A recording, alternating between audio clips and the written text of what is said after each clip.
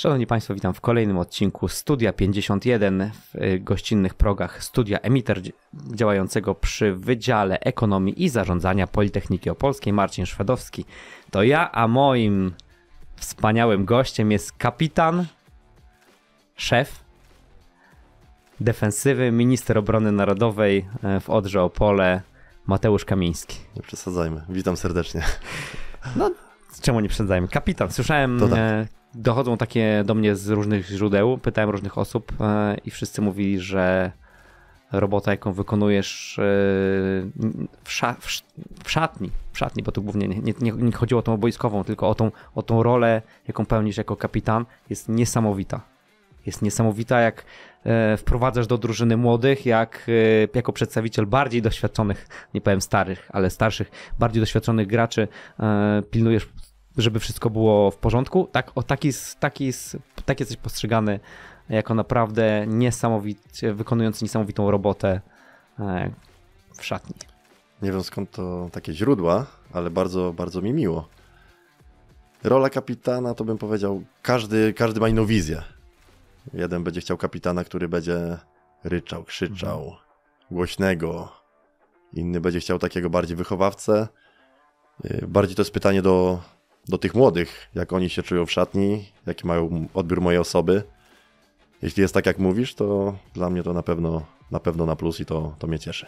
Ty też w, swoim, w swojej piłkarskiej przygodzie, w swojej piłkarskiej karierze miałeś doświadczenia z różnymi kapitanami. E, potrafisz wskazać jakąś taką jedną osobę, e, która była takim kapitanem, nie wiem, że zapamiętałeś do teraz, albo wzorem kapitana dla ciebie osobiście? To znaczy, przez pryzmat tych lat to. Pytam o Twoje indywidualne odczucie. Moje indywidualne odczucie na szybko.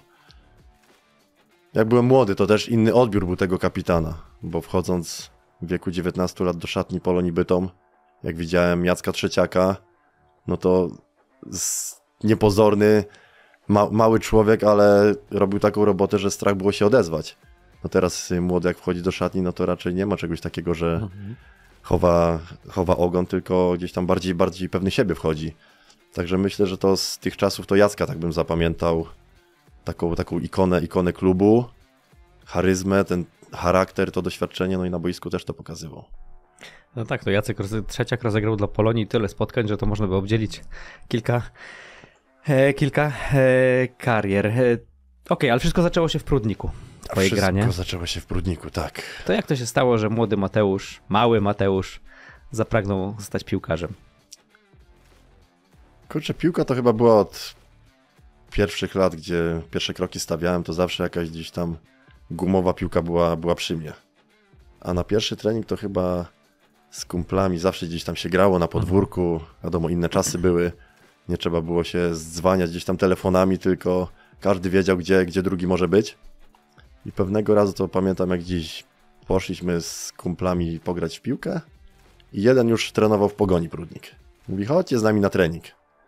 A myśmy mieli wtedy gdzieś tam 8, około 8-9 lat. No to teraz sobie tak średnio wyobrażam, żeby mój syn sam gdzieś pojechał na trening bez, bez mojej wiedzy. A myśmy wzięli piłkę pod, pod pachę, no i poszliśmy na tą pogoń. Dzień dobry, chcieliśmy, chcieliśmy trenować. Jak poszedłem na ten pierwszy trening, no to tak zostałem do dzisiaj. To jako kibic Odry bardzo się cieszę, że tak się to wszystko potoczyło, bo dzięki temu e, możesz teraz e, grać w drużynie pierwszej ligi, ale ja mogę e, korzystać z tego jako kibic i cieszyć się, e, że tak to się fajnie potoczyło.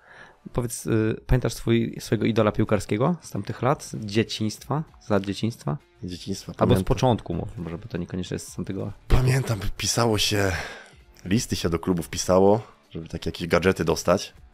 Pamiętam jak dziś, że napisałem list do Arsenalu. I tak, no, myślałem, może coś mhm. odpiszą, może nie odpiszą i nagle po jakimś czasie przychodzi paczka i tam jakieś gadżety, nie wiem, z marketingu na pewno, mhm. jakieś autografy. A swego czasu tam Sol Campbell na środku obrony rządził i dzielił. Skała. Skała i tak zostało mi to, no do dzisiaj gdzieś tam wspo wspominam. Co prawda już tak teraz nie, nie kibicuję Arsenalowi, mhm. ale w tamtych czasach to to na pewno ten obrońca był taki tak, moim. takie romantyczne czasy pisania listów do klubów. Teraz maila każdy Teraz bezdusznego, tak? tak? Kiedyś, tak, kiedyś to inaczej wyglądało. Ja też pisałem, Liverpool mi odpisał, pamiętam, to mam, mam schowane. Do dziś. Tak jest. Y, o, obrona od samego początku była twoją formacją, w której grałeś. Wiadomo, że na tych drużynach podwórkowych to całkiem inaczej wygląda, to trudno mu tak pozycjami przywiązywać się. Ale tak, kiedy zawsze. się weszło tak już do, do, do tej klubowej piłki? Od początku, tak, bo mój tata był gdzieś tam y, środkowym obrońcą. Gdzieś tam jeszcze, gdy ja powiedzmy byłem małym chłopakiem, to kończył gdzieś tam grać w pogoni. Mhm. Na jego mecze chodziłem i zawsze był z tyłu. Twardy kamyk też, kawał chłopa. Yy, najlepsza głowa w mieście, także chyba to mi zostało. Twardy kamyk, to bardzo ładnie.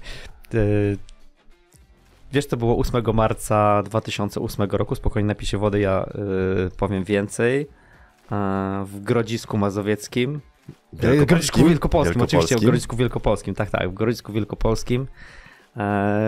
Grodzlin Dyskobolia podejmował Polonię Bytom. I Mateusz Kamiński w pierwszym składzie. Tak jest. Debiut w Ekstraklasie. Debiut w Ekstraklasie. Jakie emocje ci towarzyszyły? Powiem szczerze, że jak teraz sobie tak o tym myślę, to tak jakby do mnie to chyba nie docierało wtedy, że to jest Ekstraklasa, że to jest taki mega mocny zespół, y, z którym się przyszło mierzyć. Y, Majewski, Świerczewski w środku pomocy, jeszcze wtedy to było za trenera, trenera Probierza. Ustawił mnie na de defensywnego pomocnika. Także na pewno, na pewno szok. Ale nie wspominam najlepiej, no bo o, o, wyniku chyba nie powiedziałeś, prawda? Nie, nie powiedziałem. Okej, okay, ale, ale, ale, grałem, ale grałem tego... w tej, mogę powiedzieć, w tej lepszej połowie, że tak powiem. Także to był 40, niezłe 45 minut w moim wykonaniu. Na pewno przeżycie dla młodego chłopaka gdzieś tam. Chwilę wcześniej wyjechałem z Prudnika z, z okręgówki i gdzieś tam szybko dostałem szansę w ekstraklasie. No ale szkoda, że, że tak mało tych występów się uzbierało, bo tylko, tylko dwa. No właśnie. Albo ten, i aż dwa. Bo ten drugi był miesiąc z okładem później, 18 kwietnia. Na Widzewie. E, na Widzewie. Tu już e, wynik był korzystniejszy dla was. Na tak. Polonii, bo 4-2 wygraliście. Tam już chyba na bardziej zabezpieczenie wyniku wszedłem tak, w, końców, tak, w końcówce. Tych minut także... było kilka. E, czyli dwa występy w Ekstraklasie. Jak dotąd? Jak dotąd. Jeszcze jestem na poziomie centralnym, także nie, może nie powiedziałem ostatniego słowa. Zobaczymy. E, ta ekstraklasa od tamtego czasu zmieniła się niesamowicie. 2008 rok, teraz mamy 2024. E, powstały piękne stadiony, bo i no, w Grodzisku stadion, myślę, że teraz miałby problem ze spełnieniem niektórych norm. E, powstały przepiękne stadiony i fajnie byłoby zagrać teraz znowu w ekstraklasie po tylu latach w Opolu spiąć taką klamrą tą, tą przygodę z piłką. To na... Nie, no spiąć klamrą oznaczałoby, że to jest klamra zaczyna i kończy, tak? To to o końcu nie mówmy. Ale tak jakby kolejny, kolejny krok postawić, kolejny etap po dosyć długiej przerwie. No okej, okay, no ale nie oszukujmy się, bo ja już nie mam 25 lat, także już możemy mówić powoli o jakiejś tam klamrze, tak? Bo to w tym roku będę miał 30-36 lat. W wieku 20, tak? Debiutowałem w tej ekstraklasie. Widzimy codziennie, wychodząc na treningi, jak gdzieś tam ten stadion rośnie. Mhm. Każdy by sobie życzył, żeby to był stadion ekstraklasowy, ale jak będzie, to na dzień dzisiejszy nikt nie wie. Każdy, każdy ma marzenia, każdy o czymś myśli, ale to czas pokaże, jak to będzie wyglądało. Czy wtedy, będąc w, e, w kadrze, czy w drużynie ekstraklasowej Polonii Bytom, które było na, to, na tobie największe wrażenie piłkarsko z waszej drużyny? Pamiętasz może, czy ktoś był taki, że był przekotem albo e, był taki super naprawdę, że, że czułeś, że to jest e, albo diament, albo już właśnie skarb? Wtedy Polonia też była Beniaminkiem, o ile się nie mylę, tak, tak, ekstra tak, klasy. Tak. Oni mieli taki powiedzmy mocną ekipę. W Bytomiu nie było gwiazd, może tak. Tam był taki kolektyw, zespół, wiadomo jak to w Bytomiu zawsze bieda, także jeden drugiego nakręcał i tworzyli taki monolit. I jakby miał wskazać jednego zawodnika typowo, że to jest gwiazda, która gdzieś zrobi karierę, to ciężko, ale na pewno mieli dużo jakości w tych doświadczonych zawodnikach. Także to na pewno, a w późniejszym czasie chociażby przyszedł Paweł Stano, mhm. obecny trener Górnika Łęczna, no to doświadczony Słowak z, z meczami z Barceloną, także na niego na pewno patrzyłem jak w taki obrazek, bo mówię, kurczę, gościu z Ligi Mistrzów, z Ligi Mistrzów a wylądował w Bytomiu. Także, ale było u niego widać tą jakość. No i później nawet odnajdywał się w roli chyba napastnika w ekstraklasie w późniejszych, w późniejszych latach. Także... Tam z Polonii Marcin e, Komorowski później poszedł do Legii, która, yy, która no to był jakby krok w, w, jeszcze wyżej, prawda? Z, tak, z, chyba z po, tak po tego co pamiętam po hatriku z Lechią Gdańsku siebie. Jako le, lewy obrońca strzelił trzy bramki i zrobiło się głośno. No i... Świetnie pamiętasz te, te jak zacząłem mówić o tym 8 marca, chociaż nie, nie, nie umawialiśmy się przed, e, przed nagraniem, o czym będziemy rozmawiać konkretnie, to, to, to No mam takie właśnie urywki, bo to był mój taki początek poważnej piłki. No bo umówmy się, z Prudnika wyjeżdżałem z e, Ligi Okręgowej, także te treningi do tego 18 roku życia to nie miałem czegoś takiego jak teraz są akademie, pięć razy w tygodniu treningi, obozy, zgrupowania. Tylko te treningi czasami jak ktoś by tak pomyślał, jak to wyglądało, to i tak cieszę się, że jestem w tym miejscu, w którym, w którym jestem obecnie. I my również się cieszymy. E, wiesz, u jakiego trenera mm, zaliczyłeś najwięcej meczów ligowych e, spośród wszystkich, u których mm, w dorosłej piłce trenowałeś? To jest jakieś tru, trudne pytanie. Spisałem sobie, no ale to nie jest pytanie wiedzy. Okej, okay, tak... zaraz sobie tak na szybko bym przemyślał. Na pewno będę strzelał, bo ciężko powiedzieć, ale 52 spotkania. 52 spotkania. Trener Brzęczek? Trener Brzęczek jest na drugim miejscu, 51 spotkań. Piotr Plewnia. Piotr Plewnia, okay. Piotra Plewni zagrałeś w 52 spotkaniach. E, ja tam powiem jeszcze, że Rafał Górak 42 spotkania, Kazimierz Moskal 42, u trenera Adama Noconia 38, mm, póki co. U Adama Nawałki 33 spotkania, u Jacka Paszulewicza 24 z tego co pamiętam i dwa spotkania u Michała Probierza. Tam jeszcze tych trenerów było kilku, ja mm -hmm. jakby nie, nie będę teraz wyczytywał wszystkich. Kto z tych trenerów, może pomijając trenera Noconia, bo jest twoim aktualnym e, trenerem, więc jakby e, nie okay. wypada e, o nim rozmawiać. Nie, nie, wypada o nim rozmawiać bez jego obecności. Okay. E, kto z tych twoich wcześniejszych trenerów e, zrobił na tobie jakieś super wrażenie, albo kogo wspominasz w jakiś szczególny sposób? No trzeba przyznać, że ta lista trenerów jest naprawdę bogata i te nazwiska też są takie, że tak powiem, imponujące, bo tam, o ile dobrze mówię, to mamy trzech selekcjonerów. No tak, Michał Probierz, Adam Nawałka, e, Jerzy Brzęczyk. Jerzy tak, Brzęczyk, tak, tak, jest... także z trenerem Probierzem powiedzmy chyba byłem najkrócej, to, to też bym nie chciał, chociaż mhm.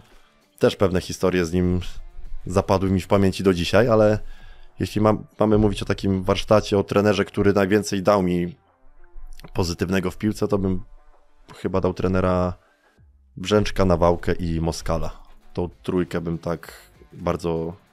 Nie chcę mówić, który pierwszy, jasne, który jasne, trzeci, jasne. ale ta trójka dużo mnie nauczyła. Mogę powiedzieć, że każdy czegoś innego, ale bardzo wiele mnie nauczyli. Czy jest w piłce nożnej twoim zdaniem taki moment, że zawodnik przestaje już yy realnie się rozwijać i tylko doświadczenie coraz większe pozwala mu być lepszym zawodnikiem? Czy, czy jesteś na przykład, patrząc mm, rok, dwa lata wstecz, y, w stanie powiedzieć, że w czymś się rozwinąłeś, w czymś jesteś jeszcze lepszy?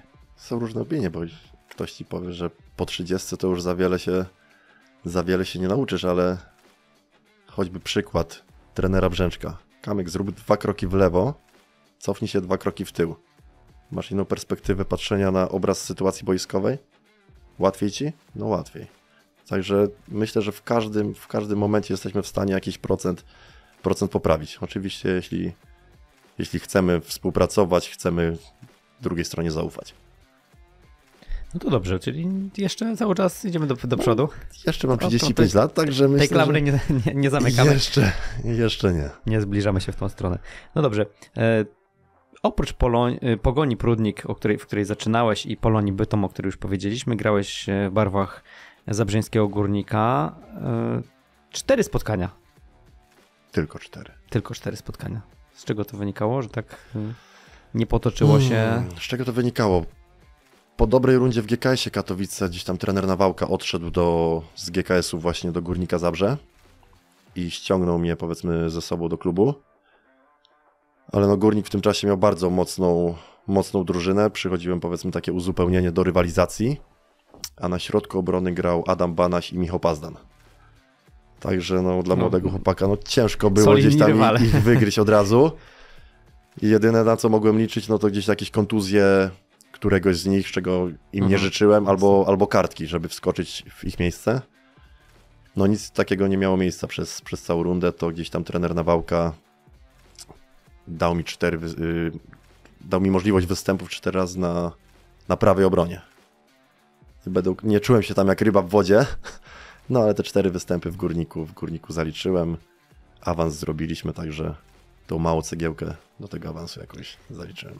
To też jakby pozycja, na której grasz, yy, utrudnia rotowanie, znaczy częstsze występy. To do czego zmierzam? No, obrona jednak yy, w powszechnej opinii kibiców yy, jeżeli się sprawdza dane zestawienie personalne, no to jakby się w tym nie grzebie co mecz. To można zmieniać w, bardziej w pomocy czy w ataku, natomiast generalnie obrona z bramkarzem powinna tworzyć, e, tak jak mówię, w obiegowej opinii oczywiście, e, taki, taki monolit, czyli jeżeli mamy stały, jeżeli mamy dobry zestaw, który się sprawdza, to, to, to nie, nie zmieniamy go.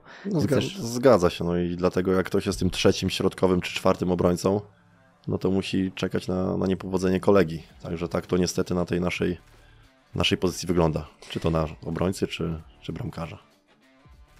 E, mówiliśmy o Górniku Zabrze w Odrze. E, do dzisiaj 122 spotkania oficjalne i aż 230 w GKS-ie Katowice.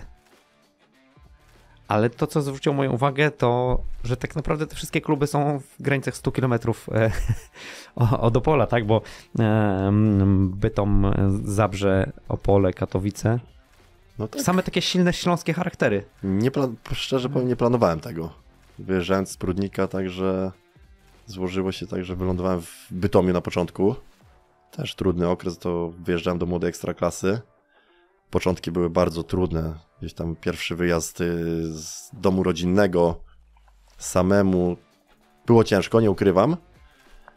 No i tak życie potoczyło, że zostałem na, na tym Śląsku i teraz w Opolu, że nie wiem, ktoś inny może by zaplanował. Drugi koniec Polski, zagranica. U mnie, może.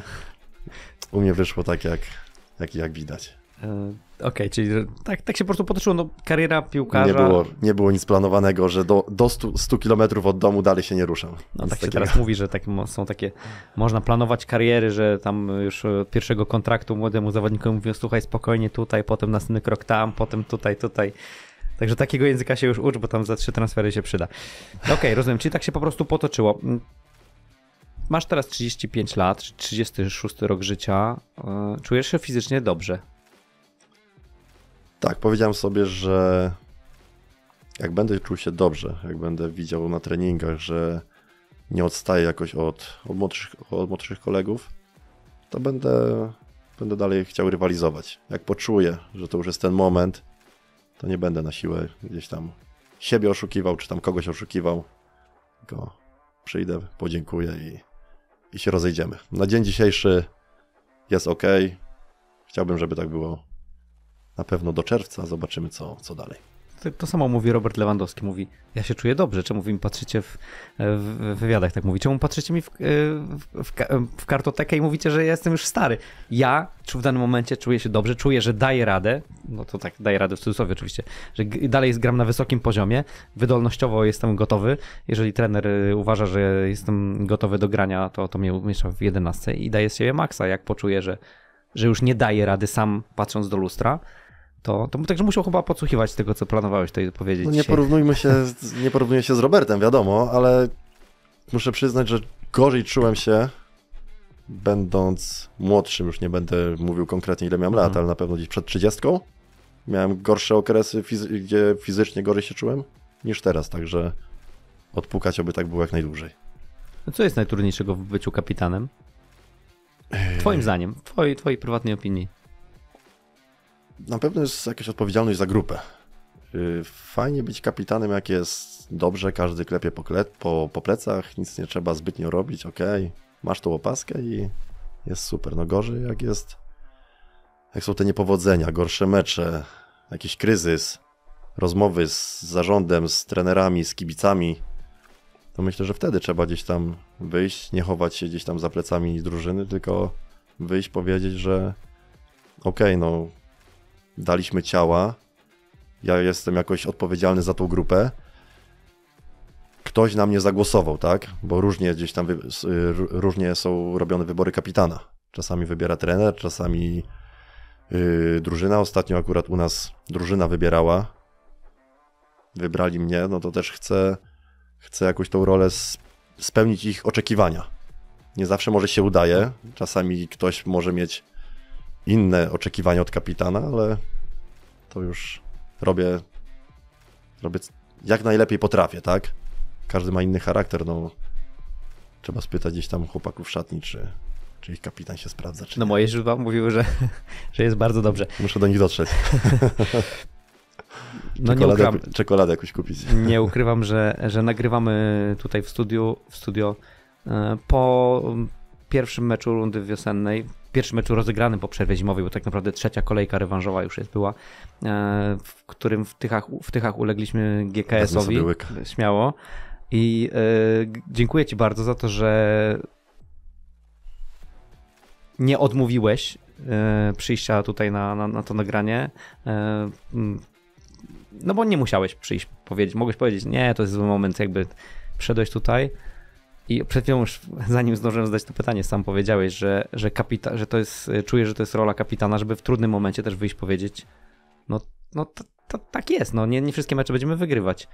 E, piłka nożna to jest skomplikowana, znaczy wydaje się prosta gra, bo jest zawsze po 11, na, przynajmniej na początku zawodników z każdej strony, dwie bramki, piłka, zasady znane od lat, z lekkimi modyfikacjami wprowadzonymi co jakiś czas, a jednocześnie to jest to bardzo skomplikowane sport i na wynik, wynik końcowy zależy od bardzo wielu elementów.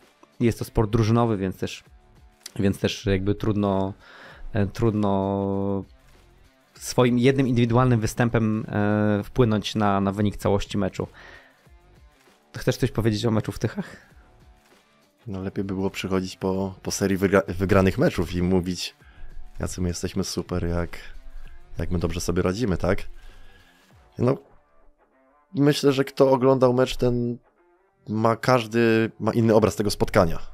Inaczej, ja zawsze mówię, inaczej mecz wygląda z boiska, inaczej mecz wygląda w telewizji, a jeszcze inaczej z trybun, tak? Mamy świadomość, że, no, że słabo zagraliśmy to spotkanie. No nie będę ukrywał, że okej, okay, często oceniamy przez pryzmat wyników. Wygramy 1-2-0, super Odra grała, super Odra walczyła, zaangażowanie to jest ta, to jest ta drużyna. Przegramy, nie walczyli, nie biegali, nie chciało im się. Często są takie gdzieś tam nar y, narracje. Z mojego punktu widzenia mecz w Tychach mógł różnie wyglądać. Pierwsze 30 minut nie wskazywało, że, że my przegramy i y będziemy mówi mówić o fatalnym spotkaniu. Są takie gdzieś głosy, że fatalnie, fatalne rozpoczęcie y, tej wiosny. Okej, okay, trzecia kolejka, ale że mówimy o wiośnie, tak? Pierwsze 30 minut pierwszoligowe granie. Oni nic, my nic. Jakieś stały fragmenty gry, ale nic nie, nie zapowiadało, że, że ten mecz przegramy. No i pierwszy stały fragment. Bramka. Okej, okay, no pierwszoligowa dziś. Jedna przegrana, przegrana głowa, przebita i straciliśmy zaraz drugą. Okay, też biorę na siebie, gdzieś tam z. Mogę powiedzieć, albo nizioł, to, to nie ja, to nie ja dobrze, koledzy, koledzy źle, tak? Z Niziołem gdzieś tam daliśmy ciała przy drugiej bramce. Ale mimo wszystko przez pryzmat całego spotkania to, to pierwszą połowę bym lepiej ocenił jak drugą. Bo w drugiej źle wyglądaliśmy na boisku i to nie ma co ukrywać, tak? Miejmy nadzieję, że następny mecz, następne mecze, że będą lepsze. Ok, źle zaczęliśmy, ale wierzymy w jakość, w nasze umiejętności, że jesteśmy w stanie rywalizować z, ka z każdym i, zdobywać punkty. I to mnie bardzo cieszy, że e, wiadomo, no, trudno zawieszać głowy po jednym meczu, tak? To jest, to jest piłka nożna, to jest tylko jedno spotkanie do końca sezonu, pozostało jeszcze 14 kolejek. Yy, więc jest jeszcze bardzo dużo punktów do zdobycia, bardzo wiele atrakcyjnych rywali na nas czeka, bardzo dużo meczów i w Opolu, i, i na wyjeździe do, do zagrania dobrych spotkań i do tego, żeby, żeby te opinie waszej pracy były pozytywne jak się wraca, a ja, bo jaka atmosfera panuje w szatni po takim meczu? No bo to jest na pewno bardzo trudne. Różnie. Czasami lecą różne epitety w szatni. Czasami jest taka bezradność. Także każda, każda, każda porażka inaczej, inaczej boli. I też każdy zawodnik inaczej reaguje. Jeden zwiesi głowę, drugi zacznie krzyczeć. No na pewno lepiej wraca się po, po zwycięstwach, pośpiewać w szatni.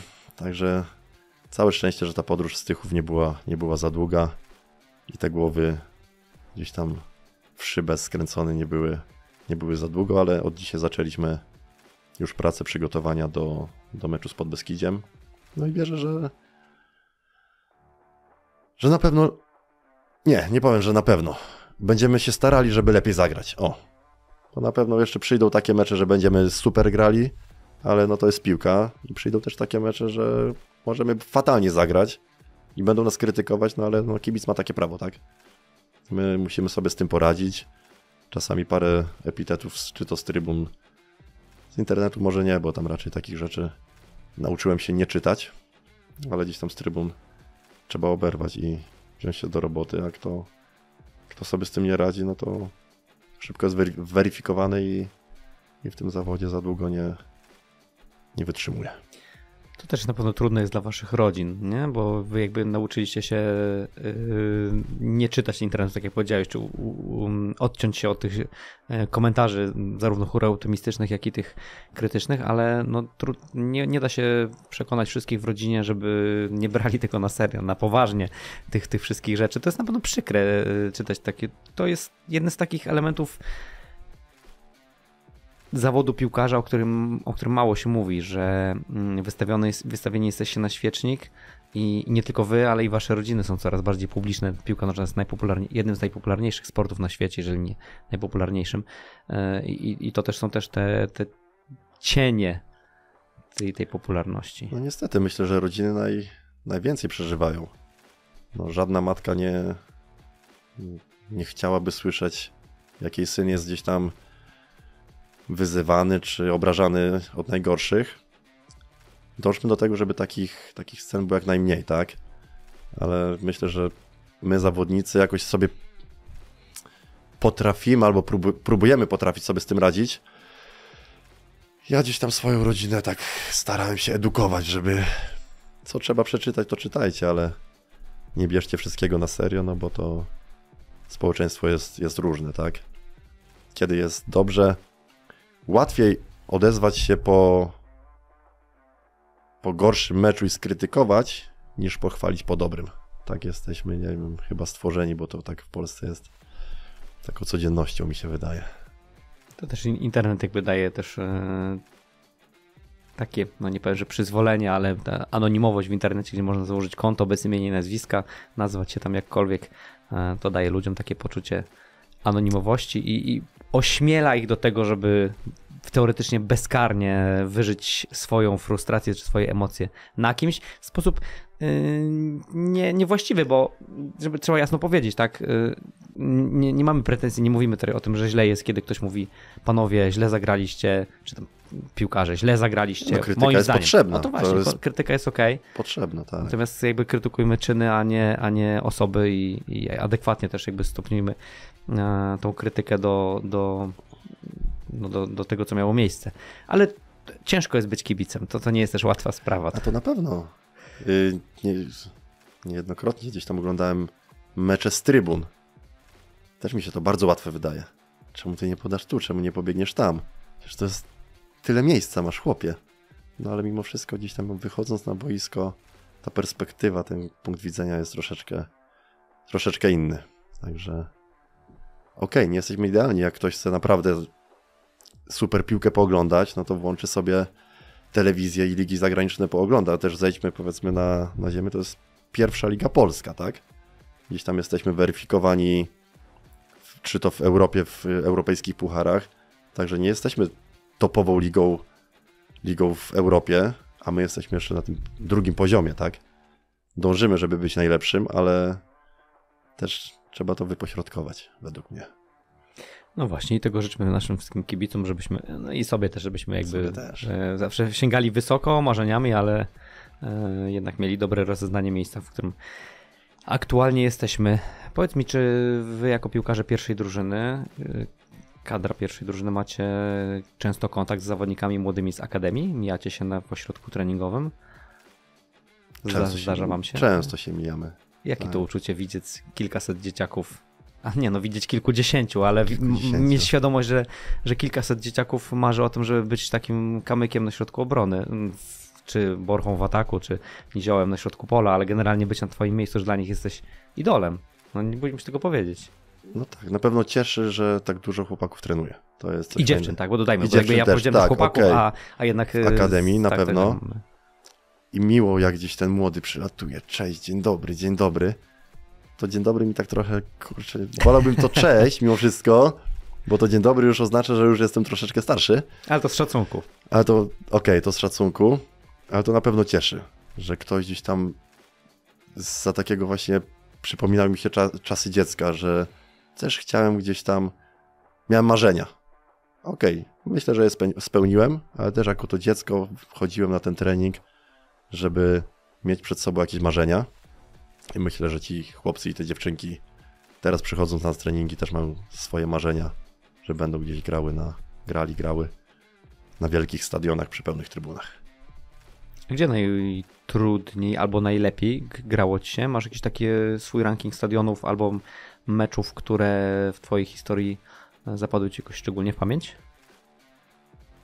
Mam jeden stadion.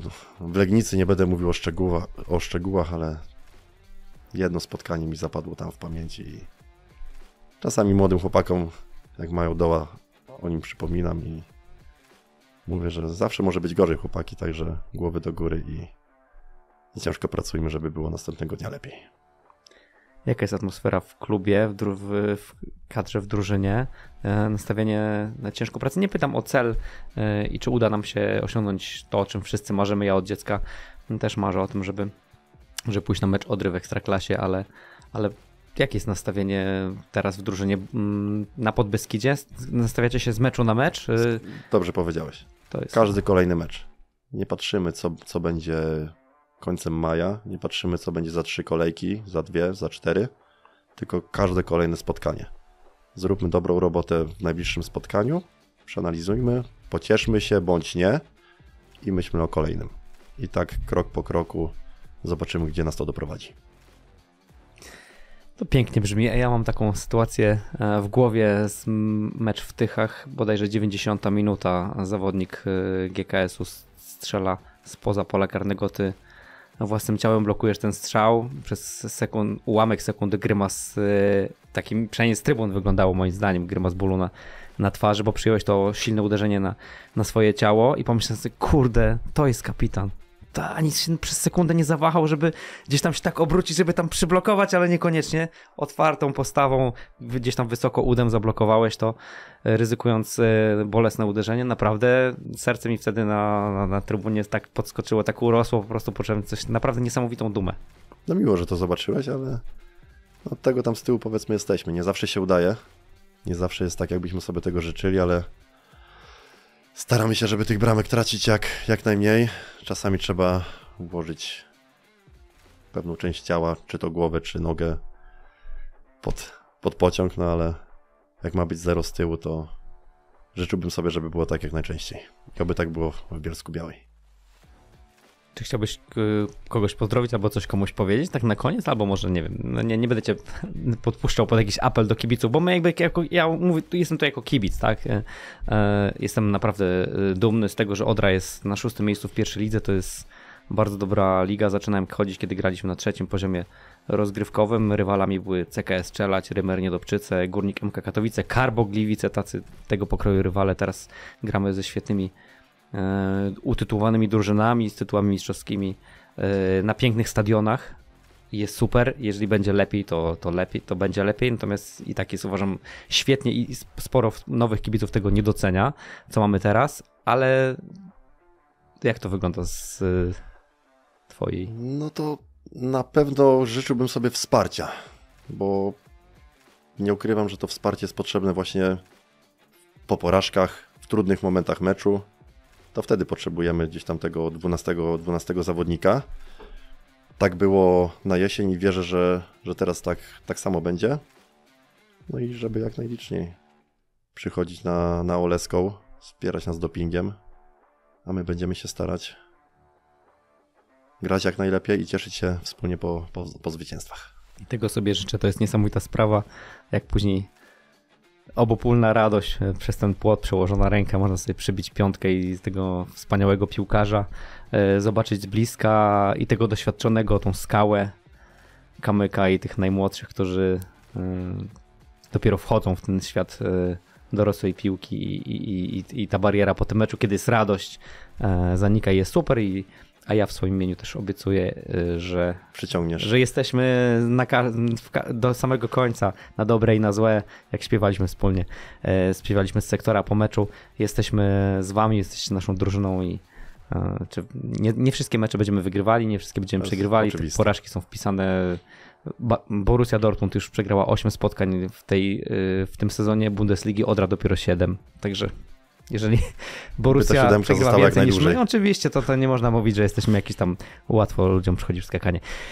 No dobrze, to tyle. Ja Ci bardzo serdecznie dziękuję i Wam, drodzy e, widzowie, drodzy kibice, dziękuję za oglądanie naszego dzisiejszego Studia 51 w gościnnych progach studia emiter działającego przy Wydziale Ekonomii i Zarządzania Politechniki Opolskiej. Moim i Waszym gościem był lider defensywy, kapitan Skała, Kamyk, Dzięki Mateusz wielkie. Kamiński. Dziękuję. Dzięki wielkie i do zobaczenia.